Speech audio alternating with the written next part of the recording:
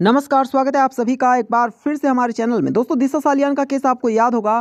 दिशा सालियान को लेकर ये कहा जा रहा था कि दिशा सालियान को बहुत ही बेरहमी के साथ खत्म किया गया और इसी वजह से दिशा सालियान आज इस दुनिया में नहीं है। लेकिन इसी बीच में आपको बता दूँ कि दिशा सालियान केस को लेकर एक बहुत बड़ी खबर सामने आ रही है। सीबीआई ने दोस्तों इस केस में पूरी तरह से क्लियर कर दिया है कि दिशा सालियान के साथ क्या हुआ था और किस वजह से दिशा सालियान ने इस दुनिया को छोड़ा। जी हाँ आपको बता दें, दिवंगत एक्टर सुशांत सिंह राजपूत की पूर्व टैलेंटेड मैनेजर दिशा सालियान के साथ हुई घटना के मामले में अब सीबीआई ने एक बहुत बड़ा खुलासा किया है। केंद्रीय जाँच ब्यूरो की जाँच में पाया गया है कि मुंबई की दिशा सालियान के साथ जो कुछ भी हुआ, वो सिर्फ़ और सिर्फ़ एक दुर्घटना था। बता दें 2020 में दिशा के साथ ये घटना हुई थी। बेईमानी और कवर अप के कई आरोपों के बाद ये घटना विवाद स्पद हो गई थी।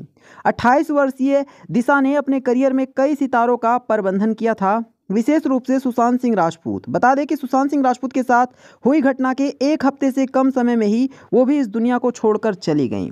दिशा सालियान के साथ हुई घटना को लेकर कोई अलग प्राथमिकी या शिकायत नहीं कराई गई थी।